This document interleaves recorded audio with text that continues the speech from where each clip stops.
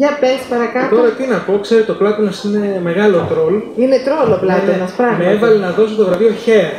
Καλά το βρε. Το franchise. Γιατί είναι αυτό, δεν κατα... πραγματικά δεν καταλαβαίνω. Λοιπόν, το βραβείο Franchise Hair and Beauty Awards βραβεύεται στο concept που έχει διακριθεί στον κλάδο υπηρεσιών ομορφιάς. Γελάνε. Με γελάνε, έλατε. Μα γελάνε. Μην γελάτε, αφού πρέπει να το δώσει το βραβείο, τι να κάνει; Πέντε βραβεία στη Βόρειο Ελλάδα. Ναι. Ξεκίνησαν το 2019 την ανάπτυξή του μέσα στο franchise ε, παρουσιάζοντα ολοκληρωμένου πολυχώρου ομορφιά.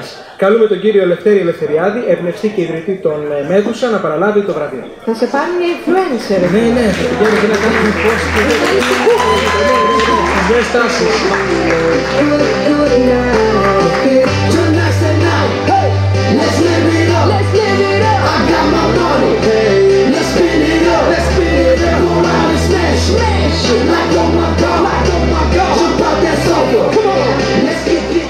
Καλησπέρα. Σας ευχαριστούμε όλου. Ευχαριστούμε και τον κύριο Πλάτωνα και όλη τη διοργάνωση. Ε, είμαστε μια εταιρεία που ιδρύθηκε πριν από τρία χρόνια. Ασχολούμαστε με το franchise το τελευταίο χρόνο. Έχουμε κάνει έξι καταστήματα franchise ε, στη Θεσσαλονίκη. Δύο εταιρικά, συνολικά 8, πράγμα που μας καθιστά τη μεγαλύτερη αλυσίδα πολυχώρων ομορφιά σε όλη τη Βόρεια Ελλάδα.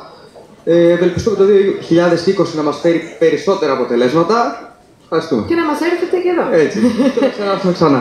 Να είστε καλά, ευχαριστούμε πολύ.